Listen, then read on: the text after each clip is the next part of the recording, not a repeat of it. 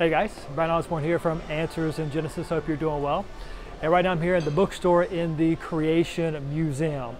So many amazing things you get here in the bookstore. So many great resources you can uh, get to equip yourself and your families to defend their faith.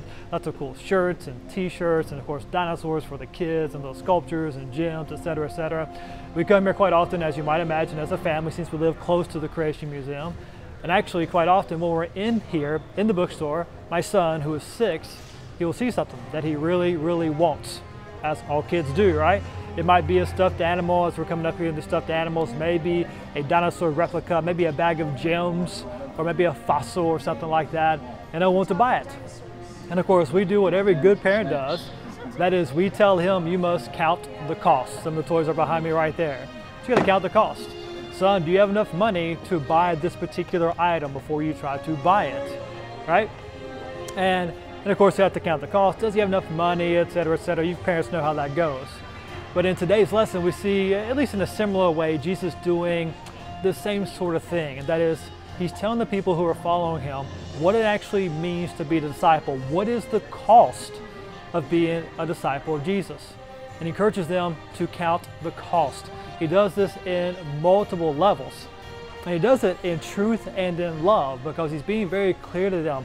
What does it mean to be a disciple of Jesus? What does it actually cost?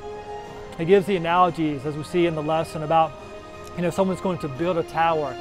They count the cost. Do they have enough resources to build a tower? Or a king going to war, does he have enough resources to win the battle? They count the cost before they engage in the activity.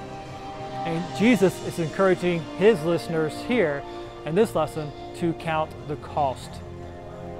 And what does it cost to be a disciple of Jesus? Well, in essence, it costs everything.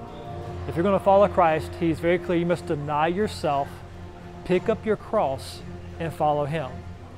That's what it means to be a follower of Jesus. That is what is expected. That is the requirement of a follower of Christ. And he's very plain about that. We see that in multiple places. And he tells them that if you're a follower of me, just as I've been persecuted, you'll be persecuted as well.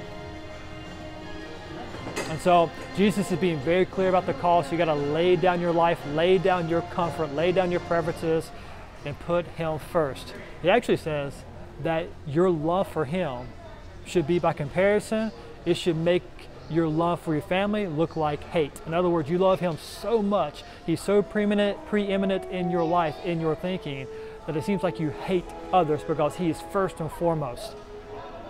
Of course, he's not telling them to hate their family, but he's saying by comparison, your love for him is so much more because he is first and foremost. Your desire is his glory and his glory alone. And in Jesus declaring this truth to them, he's being very gracious. He's telling them exactly what a true disciple actually is. He's not hiding it from them, trying to spring it on them later on. No, if you want to be my disciple, you lay down your life, you sacrifice, you put me first, and you pick up your cross and you follow me.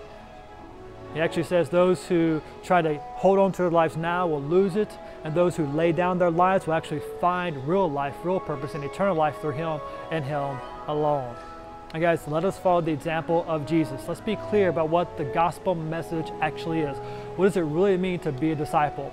You see, to be a disciple of Jesus does not mean to live your best life now from an earthly perspective. Right, that's a false narrative. No, to be a disciple of Christ means He is first, He is foremost. We lay down our lives for His glory. And then we watch Him work in amazing ways through our lives. But it's a self denial. It's actually a lowering of ourselves to lift Christ up. That's what it truly means to be a disciple. Jesus is laying that out. He's teaching that. Let's teach that as well. Hope you guys have a good day. We'll talk later on. See ya.